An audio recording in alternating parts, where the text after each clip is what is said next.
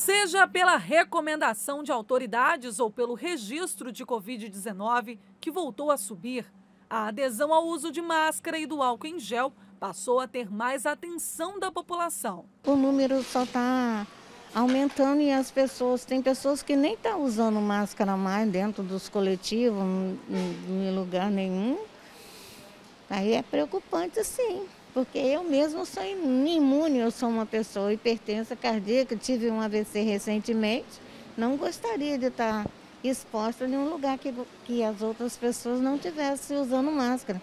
O álcool também eu não deixo de ter, sempre me protegendo para não ter mais problemas, né? Em uma loja de atacado no centro de Campos dos Goitacazes, a venda desses itens aumentou em 70% nos últimos dois meses. Foi preciso redobrar o estoque e os produtos voltaram a ocupar as prateleiras de destaque. A procura é muito grande, as escolas estão exigindo o uso da máscara então nós temos aí máscara infantil, temos máscara adulto, né? Temos vários tipos de máscaras e álcool, e álcool em gel também para higienização. Nos últimos 15 dias, houve um aumento de 50% das hospitalizações por vítimas da Covid-19.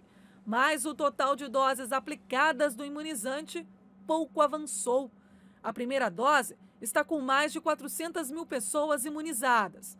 A segunda 357.457 doses aplicadas, enquanto a terceira ainda não passou dos 200 mil imunizados. Com a estagnação na procura pela vacina, mais casos graves da Covid-19 têm sido registrados.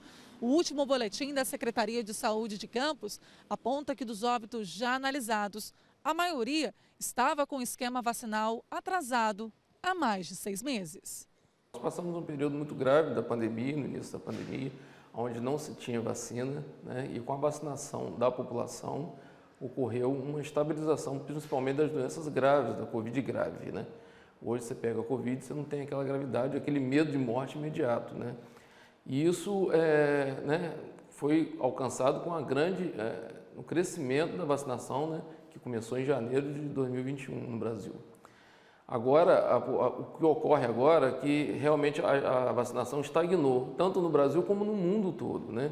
Muito também por as pessoas acreditarem que a doença não seja mais grave, ou por fake news, ou por informações é, né, que botem em dúvida a eficácia da vacina, mas essa eficácia, essa dúvida não pode pairar, porque a gente tem certeza que a doença realmente é, freou através da, do alcance da vacinação. Do final de junho ao início de julho, 13,92% dos óbitos eram idosos e 84% tinham mais de 70 anos, todos com a imunização incompleta. A pandemia não acabou ainda, né? A gente tem que ter noção disso. E tudo que a gente passou na pandemia, higienização das mãos, que a gente não tinha, né, como meta, né, o uso de máscaras, né, o, a, né, a higiene em si, né, isso que a gente passou na pandemia, a gente tem que manter hoje ainda. Né? Em junho, o município de Campos passou a recomendar fortemente uso de máscara em ambientes fechados. É preciso estar atento ao uso correto do equipamento. Tanto a máscara cirúrgica quanto a de tecido deve ser trocada com até 6 horas de uso. A máscara N95 tem durabilidade de 15 ou 30 dias, de acordo com a recomendação de cada fabricante.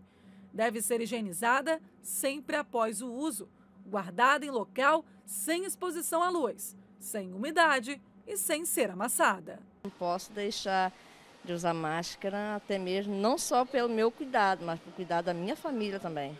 No meu trabalho eu troco a máscara entendeu? Em casa, quando eu vou sair, eu não saio sem máscara. Quando eu, antes de tirar a máscara, passo álcool na minha mão para tirar as, a máscara. Tenho todos os cuidados. Eu nunca peguei Covid, graças a Deus.